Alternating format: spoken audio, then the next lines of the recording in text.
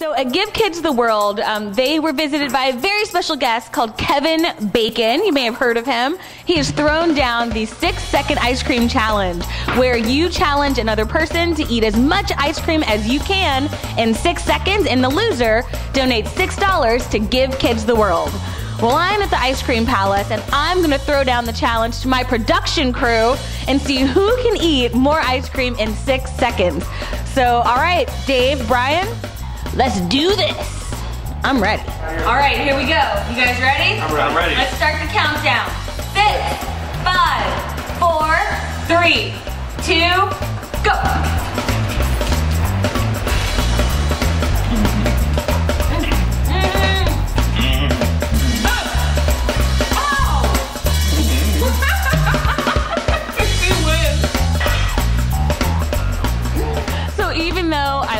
that challenge, um, if you want to get in on the action, um, go and do a six second challenge with your friends and make it happen to benefit Give Kids the World. And I'm just going to say, I'll throw out the gauntlet. My iZonOrlando is challenging, um, you know, news organizations, news journalists, everybody in Central Florida. If you want to take me on, let's do it. I will take on and beat any one of you for Give Kids the World in the six second ice cream challenge.